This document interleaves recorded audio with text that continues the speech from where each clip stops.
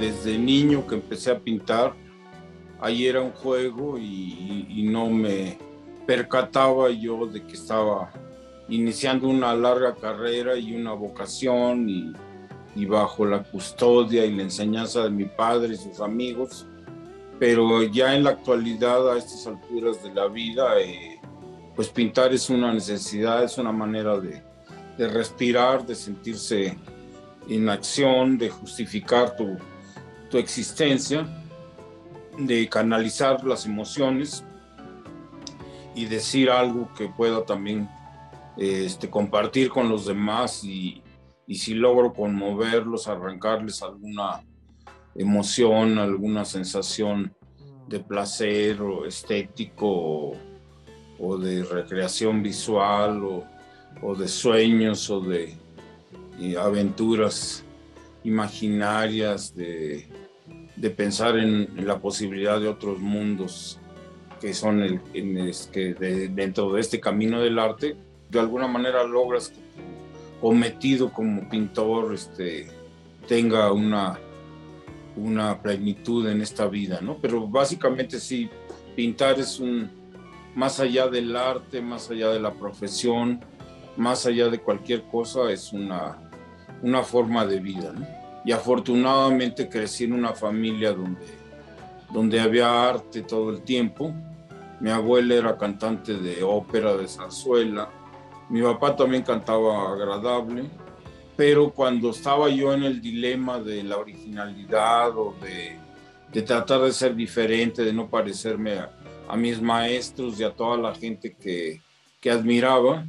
este, fue cuando se me cruzó el fenómeno del jazz y, cuando descubrí que eso podría ser el gran pretexto de trabajo para, para toda mi vida y así fue. Eso fue el gran, eh, el, como te digo, el gran hallazgo de mi vida porque eso me dio una,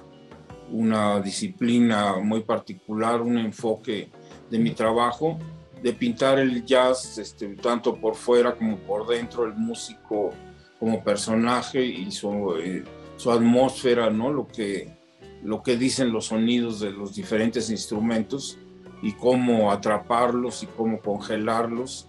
y hacerlos, eh, en este caso, música visible. Entonces, pues ese es eh, más o menos el,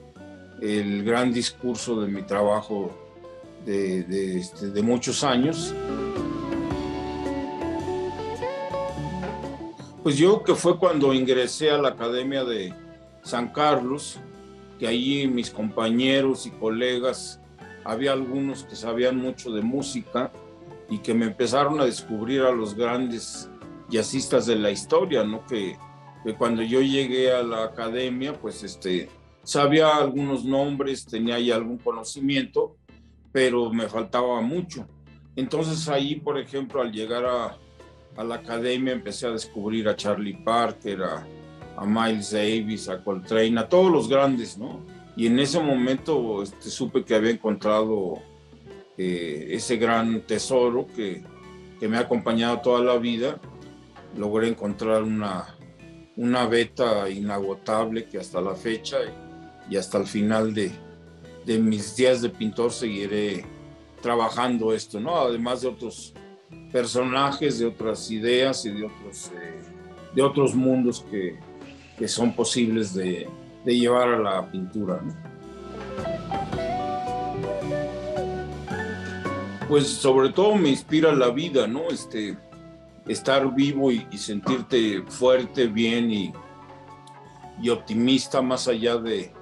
de, lo que pase alrededor, más allá de, de, toda la problemática existencial de este mundo este, aparentemente cada vez más caótico en este mundo tan lleno de información y de lluvia de ideas y de influencias, pues uno lo que tiene que hacer es dejarse llevar por, por tu sentimiento, por lo que quieres decir y todo lo que llegue a, tu trabajo será bienvenido siempre y cuando lo canalices y lo metas a, a, tu mundo, ¿no? O sea, todo, todo lo que puedas absorber de los demás y,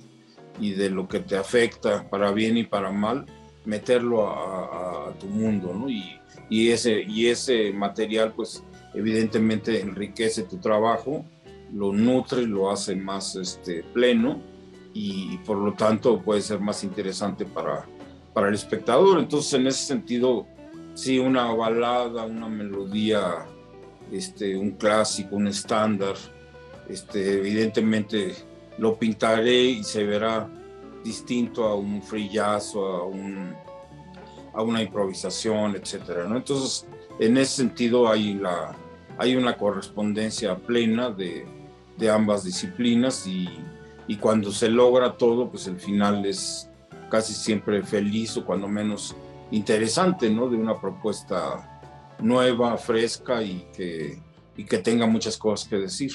Todo tiene que ver, ¿no? Eh, nada es magia pura, aunque sí puede haber algo de azar, algo de, aventura, que es parte de, del misterio del arte y es parte de, de, la forma de trabajo. Pero sí yo que básicamente, como en cualquier actividad, no solo en la pintura, eh, las horas de trabajo, la dedicación, la, la pasión, la entrega es lo que te va a dar algún resultado en lo que hagas, ¿no? O sea, eh, como te digo, llámese pintura, música, deporte, cualquier cosa que quieras hacer en la vida, tiene que, tienes que entregarte, tiene que haber esa pasión, esa, esa chinga que llamo yo, ese trabajo diario. Ni, ni siquiera hay secretos, ni misterios, ni, ni nada que ocultar por parte de, de los artistas, ¿no? No existen las fórmulas mágicas para, para llegar a, a concretar tus sueños o tus ideales pictóricos o de trabajo. Simplemente es este, ejercitarte todos los días en lo que haces. Unas veces tendrás mejores jornadas, lograrás mejores cosas, otras a lo mejor habrá fracasos o desilusiones, pero todo forma parte de este proceso en el que este, vas logrando aterrizar cosas y eso es lo, importante.